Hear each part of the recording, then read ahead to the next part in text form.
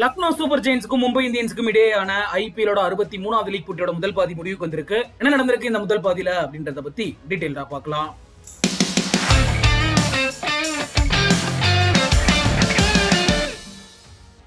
லக்னோல தொடங்கின இந்த போட்டியில மும்பை இந்தியன்ஸ் கேப்டனான ரோஹித் சர்மா டாஸ் வின் பண்ணாரு பவுலிங்கை சூஸ் பண்ணாரு. இந்த போட்டி லக்னோ சூப்பர் ஜெயின்ஸுக்கும் சரி மும்பை இந்தியன்ஸுக்கும் சரி ரொம்பவே முக்கியமான ஒரு போட்டி. இதையும் தாண்டி சிஎஸ்கேவுக்கும் ரொம்ப முக்கியம். இப்படியாப்பட்ட முக்கியமான போட்டியில தொடக்க வீரர்களா கிளம்புறாங்க தீபக் கூடவும் டிக்காக்கும். தீபக் கூட ஏழு பந்துகளை ஐந்து ரன்கள் எடுத்து வெளியேற ஒன் டவுன் வந்த மண்கட்டும் டக் அவுட் ஆனாரு. தாக்கு பிடிச்சு பார்த்த டிக்காக்கும் பதினஞ்சு பந்துகள்ல பதினாறு ரன்கள் எடுத்து விக்கெட் பறி கொடுக்க முப்பத்தி ஐந்து ரன்களுக்குள்ளேயே மூணு விக்கெட் இழந்துட்டாங்க லக்னோ சூப்பர் ஜெயின்ஸ் அணி. பயங்கரமான தடுமாற்றம். அப்பதான் உள்ள வந்த கேப்டன் குருணல் பாண்டியா அதிரடியெல்லாம் ஆடக்கூடாது. இந்த மேட்ச பொறுமையா கொண்டு போகணும் பிச் கண்டிஷன் ஏத்த மாதிரி அப்படின்னு முடிவு பண்ணி பொறுமையா நகர்த்திட்டு போனாரு.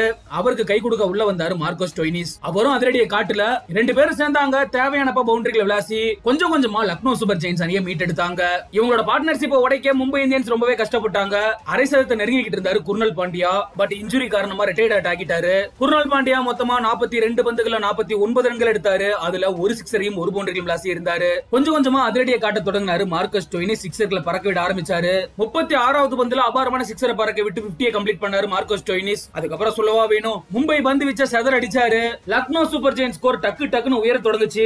எங்கேயோ இருந்த ஸ்கோரை எங்கேயோ கொண்டு போயிட்டாரு. அதுவும் கிறிஸ் ஜோர்டன் ஓவர் எல்லாம் பிரிச்சு விட்டுட்டாரு. மும்பை இந்தியன்ஸ் கேப்டனான ரோஹித் சர்மாவுக்கு எல்லாம் பயங்கரமான கடுப்பு. ரன் அவுட் மிஸ் பண்றாங்க கேட்ச் மிஸ் பண்றாங்க. இதை பயன்படுத்திக்கிட்ட ஸ்டோயினி சிக்ஸ் போர்மா தெருக்கி விடுறாரு. பட் ஒரு டஃபான பிச்சில் இந்த மாதிரி அடிக்கிறதுலாம் உண்மையிலேயே வேற லெவல் தான். கடைசி வரைக்கும் ஸ்டோயினிஸை வீழ்த்தவே முடியல.